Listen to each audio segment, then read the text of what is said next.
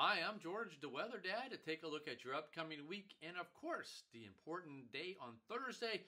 That's Halloween. First, let's talk temperatures. Here on your Monday, not too bad. Nice little warm up there in the central U.S. Still kind of cool. Uh, Ohio Valley points towards the northeast and certainly very chilly, wintry like up into the Rockies.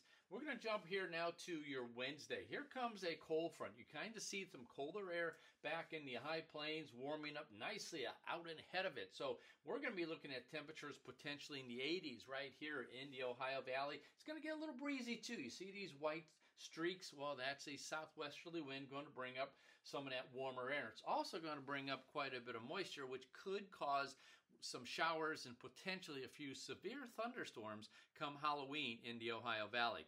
Speaking of Halloween, temperature wise, you can see the front nicely here. Some cool colors. In fact, below normal temperatures as you head up into the Great Lakes region and the high plains.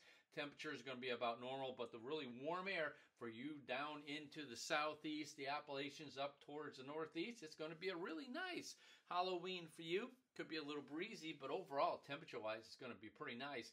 Those of you out in the Rockies, well, you're going to have some very chilly air and also some snowy air as well. Here on Friday, the front works its way down into the southeast.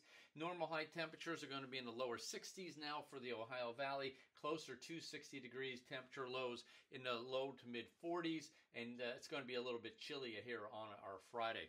Jumping now to next Sunday. Nice little warm up again ahead of the next system. We're actually looking at what we call a zonal flow of air moving quickly from west to east. And so we're going to have some showers and thunderstorms, oh, about every two to four days, depending on where you're at across the country. Precipitation wise, here we go for your Monday.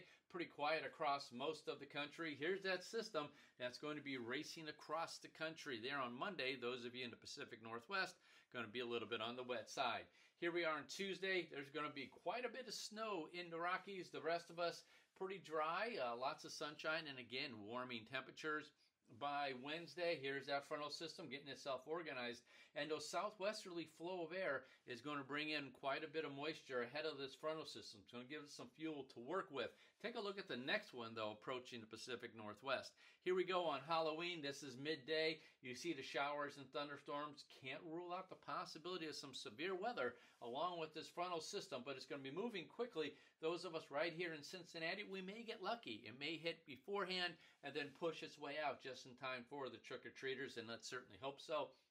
Rest of the country, though, pretty nice for Halloween. Uh, the Pacific Northwest, once again, you're getting hit pretty good there. Here on Friday, the frontal system washes out as it heads towards the southeast. Here comes the next system, and by Sunday, it could uh, produce again some more severe weather for the central U.S. as it races towards east. This is now for next Sunday. Now, a quick note on the tropics. Right now, the models continue to try to develop something in the southern portions of the Caribbean. Right now, it looks pretty much okay. I don't see anything developing over the next week or possibly the next week or two. Well, that's your look at the upcoming week.